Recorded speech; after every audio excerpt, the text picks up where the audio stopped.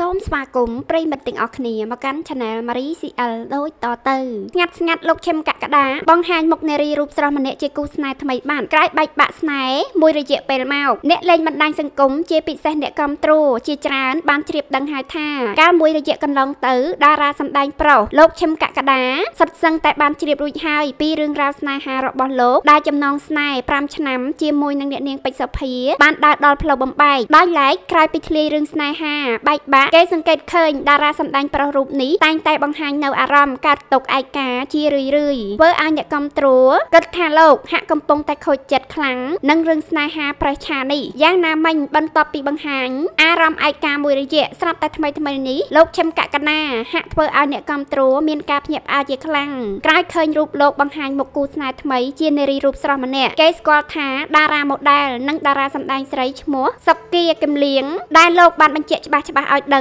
ថាជាគូស្នេហ៍ថ្មីត្រៀមកាន់ដៃគ្នាសាងអនាគតទូយ៉ាងនេះបើតាមបណ្ដាញសង្គមរបស់លោកឈឹមកកដាបានបញ្ចេញវីដេអូជាមួយនារីរូបស្រស់ម្នាក់នោះដោយភ្ជាប់ជាមួយនឹងសារមួយឃ្លាយ៉ាងផ្អែមល្ហែមថាបន្ទាប់ពីនៅលាវមួយរយៈឥឡូវនេះខ្ញុំមានគូស្នេហ៍ហើយអរគុណដែលព្រមកាន់ដៃបងទន្ទឹមនឹងនោះដែរក្រោយឃើញបែបនេះពិតជាធ្វើឲ្យមហាជនអ្នកគ្រប់គ្រងផ្ទុះការចាប់អារម្មណ៍និងបង្ហាញការសាទរខ្លាំងចំពោះចំណងស្នេហ៍ថ្មីរបស់តារាសម្ដែងប្រុសរូបនេះព្រមទាំងមានពាក្យពេចន៍ជូនពរជាច្រើនផងដែរ